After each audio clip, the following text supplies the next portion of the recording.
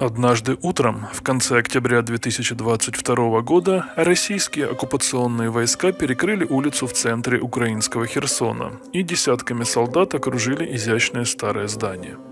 Подъехало пять больших грузовиков. Это была тщательно спланированная, хорошо организованная операция по изъятию культурных ценностей – в течение следующих четырех дней Херсонский областной художественный музей был полностью опустошен. Оккупанты суетились как насекомые.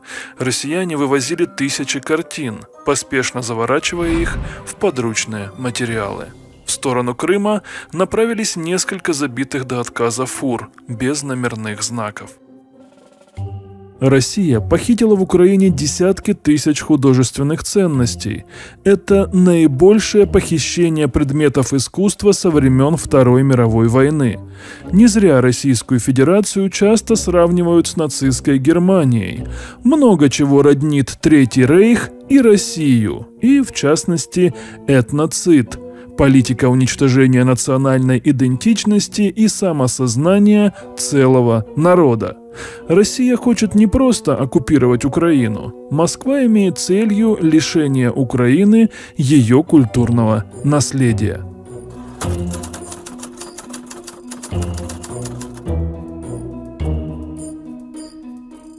Во время Второй мировой войны грабежи культурных ценностей происходили на всех оккупированных нацистами территориях. Возьмем, к примеру, Францию. Перед войной значительная часть французских художественных собраний находилась в коллекциях и антикварных магазинах еврейских семей. После капитуляции Франции Адольф Гитлер издал приказ изъять произведения искусства, принадлежащие французскому государству и частным лицам, в особенности евреям. При исполнении этого приказа активны были несколько ведомств, то есть масштабы краж были весьма внушительными. Всего было изъято почти 22 тысячи предметов искусства из 203 художественных собраний. Стоимость похищенного до марта 1941 года оценивалась немцами более чем в 1 миллиард рейхсмарок. В период с 1941 по 1944 через Германию с оккупированных территорий было отправлено более чем 4000 ящиков культурных ценностей. После указа фюрера от 18 ноября 1940 года конфискованные произведения искусства переходили в полное распоряжение спецорганизации Линц, задание для которой давал лично Гитлер. Произведения искусства были помещены в хранилище в нескольких замках от Баварии и до Чехословакии. Спустя 80 лет после Второй мировой войны история повторяется. Путин копирует Гитлера до мельчайших деталей, отдавая своим военным и спецслужбам приказы к грабежам культурных ценностей и произведений искусства на оккупированных территориях Украины. Это не спонтанные акты мародерства, когда толпа солдат распихивает по рюкзакам серебряные ложки. Ограбление носит организованный характер, санкционированный российской властью. В Херсоне для удобства разграбления целенаправленно перекрывались целые улицы. Был разграблен краеведческий и художественный музей. Четыре дня подряд просто выносились ценнейшие предметы искусства и очень небрежно грузились в грузовики. По словам сотрудника музея, картины закидывали как мусор. Понятно, что настолько масштабная кража была утверждена лично Владимиром Путиным, собственноручно командующим так называемой специальной военной операцией, ибо вывозилось практически все, что имело культурную и историческую ценность. Были украдены тысячи картин, статуй, книг из научной библиотеки. Были вывезены и останки Григория Потемкина. Есть уверенность в том, что останки Потемкина были вывезены по прихоти именно Путина. Видимо, мощи любовника Екатерины II носят для него какой-то очень сакральный смысл, учитывая регулярные упражнения в фальсификации истории. Такая практика уже была. В последние годы существования Российской империи духовенство перед наступлением противника эвакуировало кости, а не людей. Недавно Путин упоминал имя Потемкина в своей псевдоисторической речи. В Кремле не устают повторять любимые мифы об историческом единстве украинцев и россиян. Память о завоевателе украинских земель полководце Потемкине жива для тех, кто хочет воссоздать Российскую империю. Но при этом прямо сейчас российские войска уничтожают именно те города, которые якобы основал сам Потемкин. Для кражи самых значимых экспонатов в Мелитополе подключались эксперты, которые очень осторожно, в перчатках и с помощью пинцетов извлекали все самое ценное. В том числе были извлечены золотые изделия скифской поры, изготовленные более 2300 лет назад. Москва вообще всегда с особым рвением охотилась на золото скифов. Вот, например, золотой гребень, предположительно 4 века до нашей эры. Его украшают пять фигур лежащих львов, над которыми сражаются воины. Это украшение – гордость и символ музея Эрмитаж в Санкт-Петербурге. Гребень тоже был украден, незаконно вывезен из Украины. Его обнаружили в 1913 году при раскопках кургана Солоха в Запорожской области. Масштабы нынешних культурных потерь можно только представить, учитывая то, что значительные территории все еще остаются оккупированными Москвой. Хочется напомнить россиянам, что правила ведения войны обязывают стороны в вооруженном конфликте защищать и уважать культурные ценности. Согласно международного гуманитарного права, нападение на культурные ценности или использование их в военных целях запрещено, кроме тех случаев, когда это оправдано настоятельной военной необходимостью. Никакой военной необходимости грабить и уничтожать музеи у Путина нет, но это ему не мешает. Кроме того, стороны в конфликте не должны захватывать и уничтожать культурные ценности или умышленно наносить им повреждения. Они должны препятствовать похищению или разграблению данных ценностей и пресекать акты вандализма. Помимо соблюдения общих правил ведения военных действий, стороны в конфликте должны особо заботиться о том, чтобы избегать причинения любого вреда культурным ценностям, поскольку из-за уничтожения культурных ценностей, даже случайного, все равно страдают люди, народы и общество в целом. Правовые нормы, относящиеся к защите культурных ценностей во время вооруженных конфликтов, содержатся в международном договорном и обычном праве, в том числе в Гаагской конвенции о защите культурных ценностей в случае вооруженного конфликта 1954 года и двух протоколах к ней, а также в дополнительных протоколах 1977 к Женевским конвенциям 1949. Но разве нужны эти всякие конвенции доблестной русской армии, если прямо сейчас можно разграбить все, что плохо лежит? Нацисты действовали абсолютно идентичным образом. Правда, конвенций в те годы еще не существовало. Впрочем, и российские оккупанты ведут себя так, будто никаких законов, прежде всего человеческих или библейских, не существует вообще. Нацисты. Немецкие нацисты были очень яростными поклонниками оккультизма, верили в некую магию, символизм и древние религии. Существовала даже отдельная служба, которая занималась этим направлением и носила название Аненербе – «Наследие предков». Полное название – Немецкое общество по изучению древней германской истории и наследия предков. Организация, созданная для изучения традиций, истории и наследия нордической расы с целью оккультно-идеологического обеспечения государственного аппарата нацистской Германии. Стоит заметить, что если немецким нацистам приходилось что-то выискивать и подстраивать под свою идеологию, то у России это самое идеология идеологическое обеспечение русского мира существует уже 250 лет. Его сочинила София Августа Фредерика Ангальд-Цербская, то бишь Екатерина II, с помощью фальсификации древней истории Московии. Это именно она белыми нитками пришила Киевскую Русь к московским болотам. На канале есть об этом видео. Ищите ссылку в описании. Во время Второй мировой войны было бы наивно думать, что украинские музеи подвергались разграблению только лишь немецко-фашистскими захватчиками.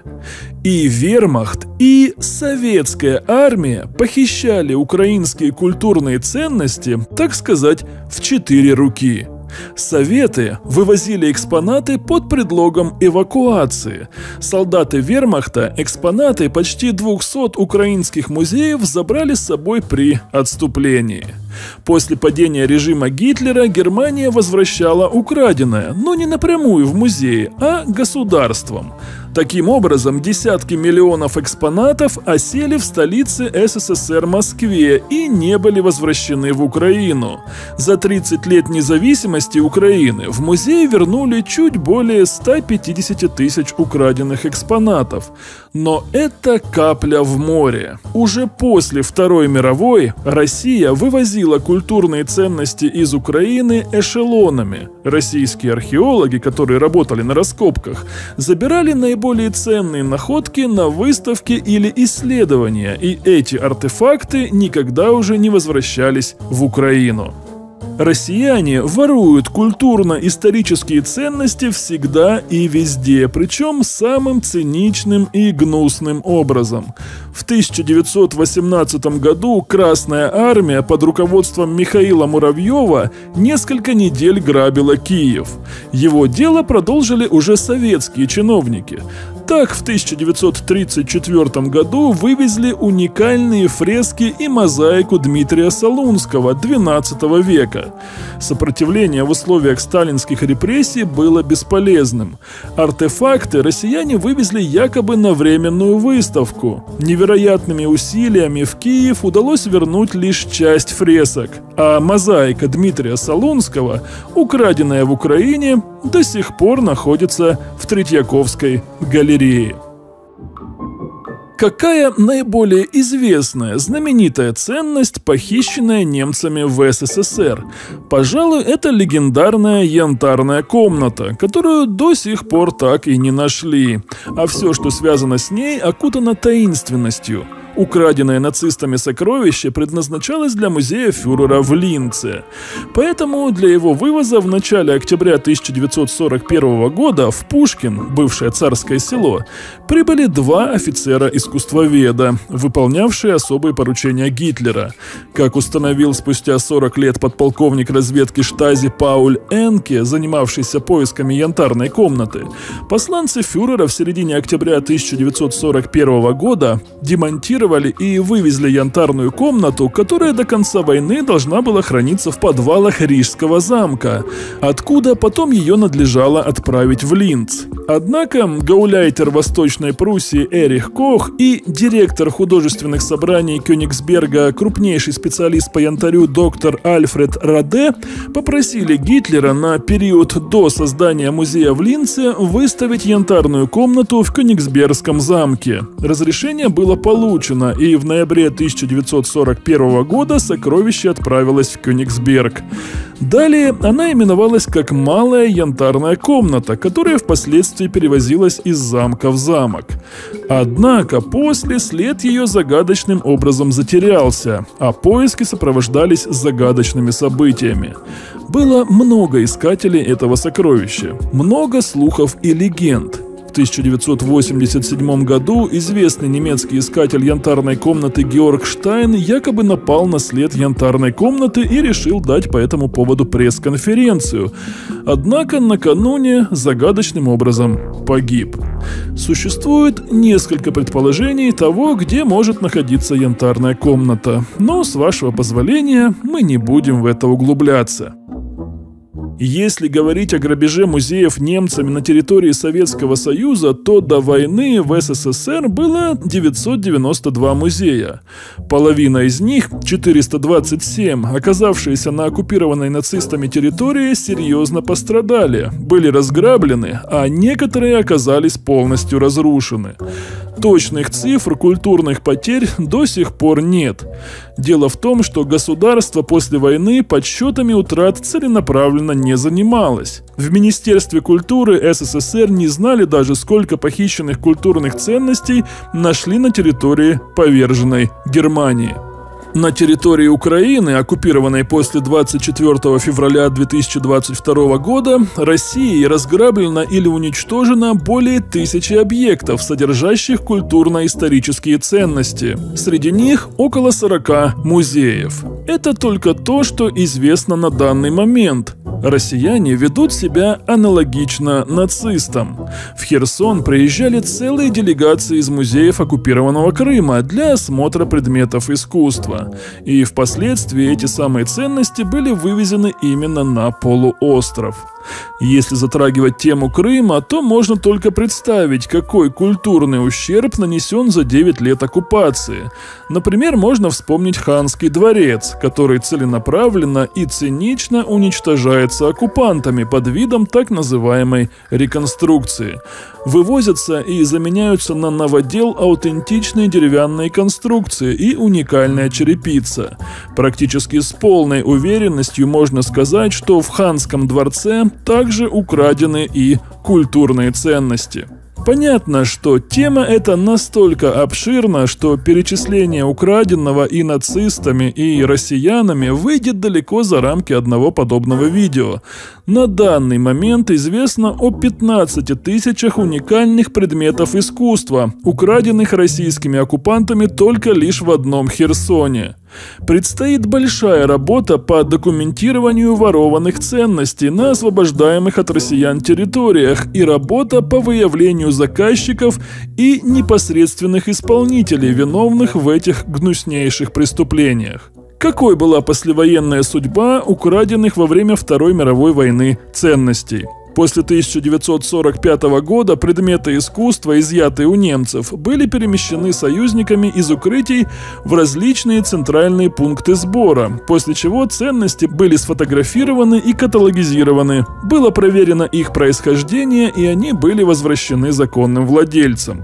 В случае с СССР ценности вывозились в Москву, да там и оставались, не возвращаясь, например, в музеи Украины. В немецких архивах, учреждениях культуры и музеях по-прежнему находятся объекты культурного назначения, незаконно присвоенные нацистами и прежде принадлежавшие евреям. По оценке исследователя трофейного искусства Гюнтера Вермуша, национал-социалистами на захваченных территориях было похищено от 3 до 5 миллионов предметов искусства. До середины 1960-х годов примерно 80% произведений искусства было возвращено, После этого отмечались лишь единичные случаи возврата.